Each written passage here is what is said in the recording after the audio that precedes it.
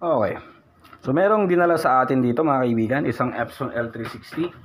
Galing na daw sa ibang technician at uh, print quality problem. Eh, sabi daw ng technician eh um, print head problem. So hindi daw siya nag-aayos ng print head. So tignan natin, i-open lang muna natin syempre.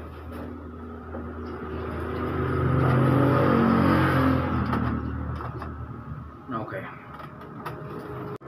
Okay, so try nating mag-xerox ng document. Black and white.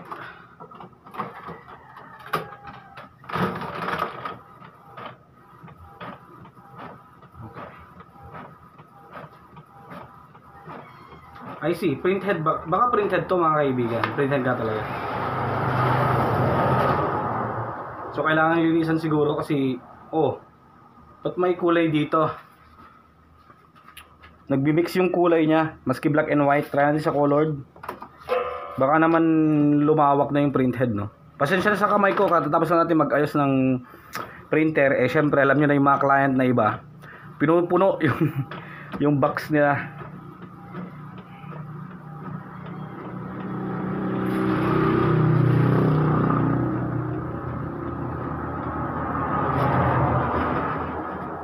Okay.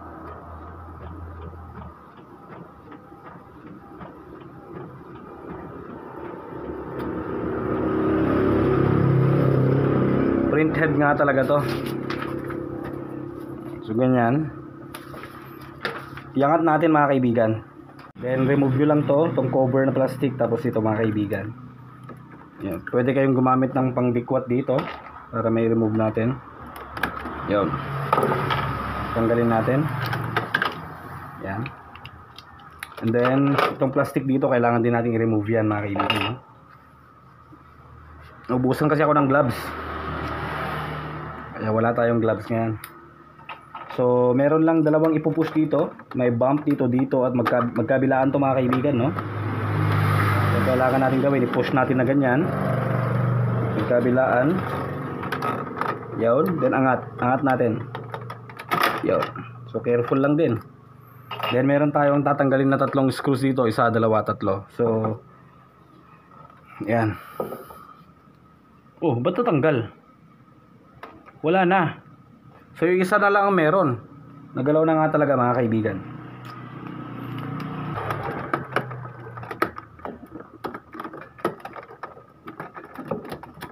O hila-hilain lang natin. Okay. Nasa baba yung kwan mga kaibigan, oh. Yung flex. Yan.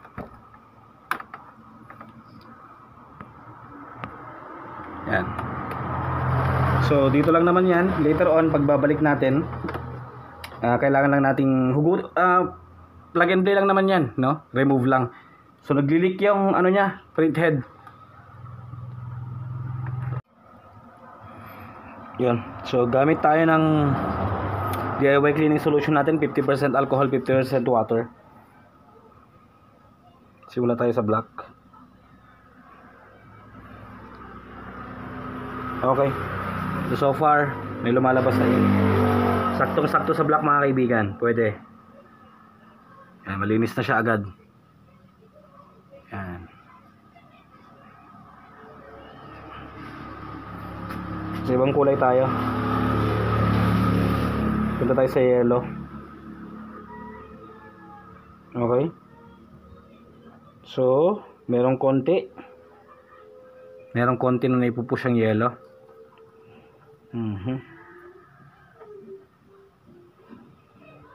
Yan. So, padaanan pa natin. Kailangan lang natin palambutin yan mga kaibigan. May lumalabas pero hindi gaano. Yan. Hanggang sa makompleto na yung parang spray type.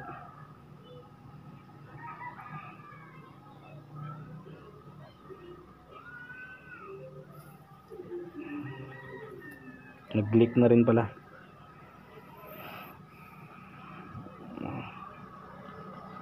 Tignan naman natin sa magenta.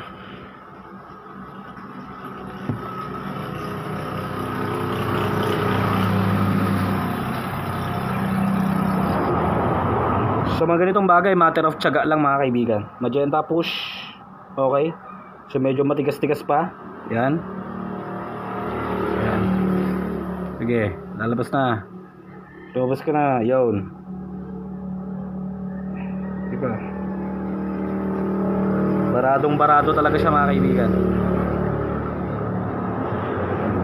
So matter of tiyaga lang yan na i-push lahat mga kaibigan hanggang sa mapalambot mismo yung ating ah, ink, yung ink sa loob ng print head. Katulad nito, maraming butas sana pero iilan lang yung nilalabasan. Yan. Isa, dalawa, tatlo. Barado talaga siya. So kailangan lang nating tiyagain na i-push-push yan.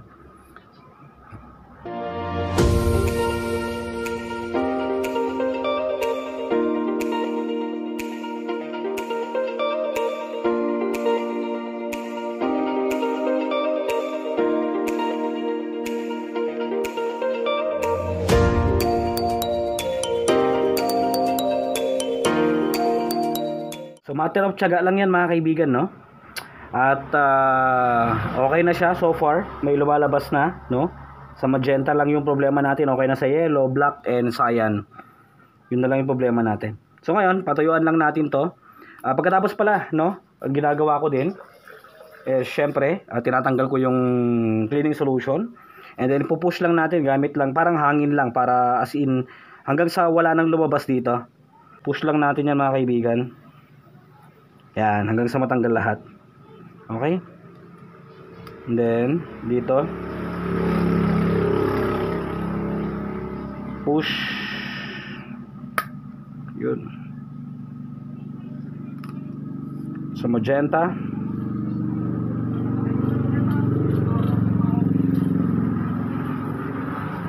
Yan, hanggang sa mawala yung tubig din mga kaibigan.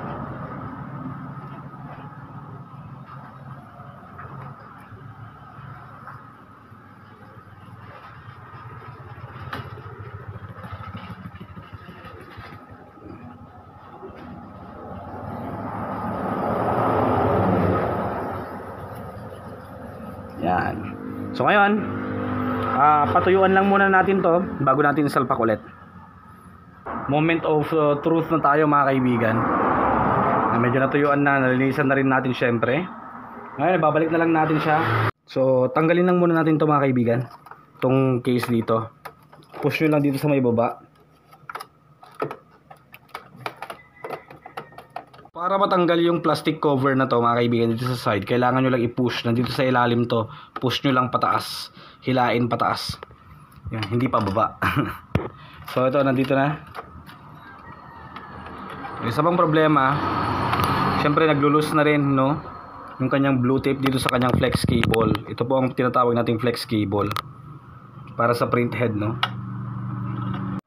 So medyo na-stress lang tayo dito mga kaibigan, no? So ang ginawa ko is hinila ko to. Tinanggal muna natin to, ah.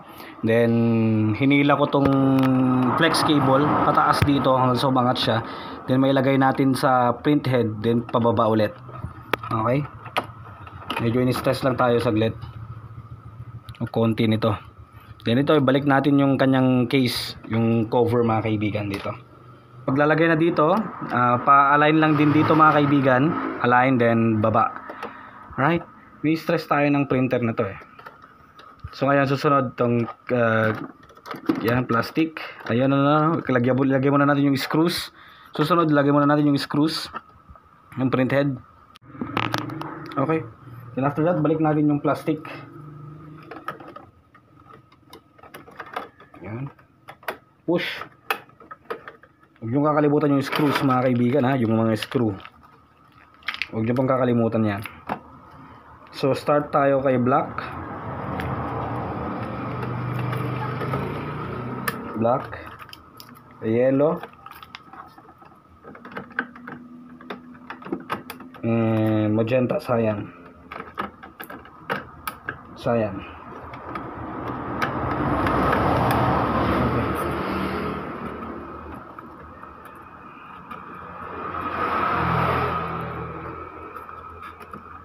Alright. Push. Push natin. Make sure na may lagay sa mga lock. Then dito, hila. So at this moment, nag-head cleaning na tayo mga kaibigan. So ang ginagamit ko nga pala na pag-head clean ay yung resetter mga kaibigan ng Epson L360 o ng kahit anong printer. Kasi dito meron tayong iba't ibang mga options. Merong CL1, CL2, CL3 at power cleaning. So ang pinipili natin yung strong CL3. Okay? So head cleaning lang yan. Kasi ang problema dito noon is yellow, ah basta yung print quality niya mga kaibigan. No? So tignan natin. Okay. And now, para sa moment of truth, magpiprint tayo dito. Yan. Control P. Pero kailangan muna natin i-install later on, no? Yung L360 para makapag-print tayo ng high quality. Ito parang naka-draft lang. Testingin natin, wala talaga siya. So, kailangan ma-install talaga yung printer.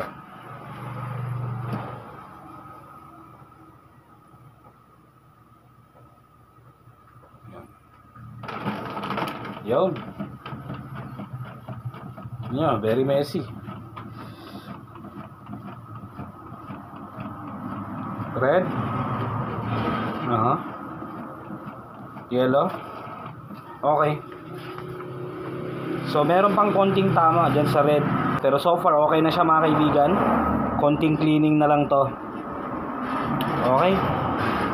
So, ganun lang kasimple. Ah, hindi ganun kasimple. Matrabaho talaga to. Kaya wag niyong babaratin ng mga technician. Yun lang. Maraming salamat sa inyong panonood at uh, huwag niyo pong kakalimutan mag-subscribe.